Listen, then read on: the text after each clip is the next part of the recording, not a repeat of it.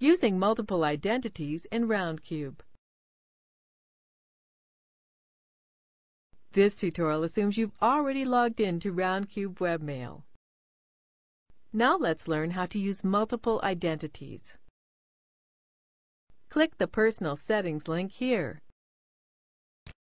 Then click the Identities tab. To create a new identity, click the New Identity button here.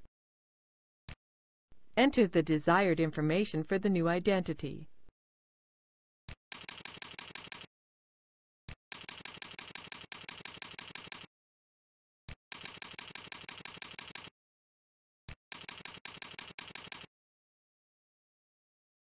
When finished, click Save.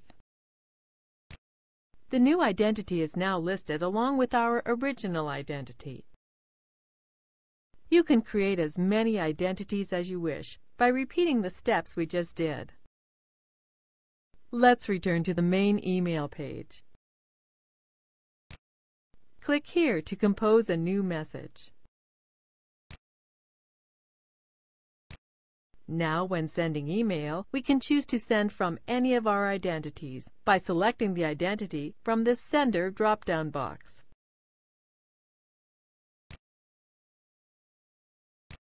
This is the end of the tutorial. You now know how to use multiple identities in RoundCube.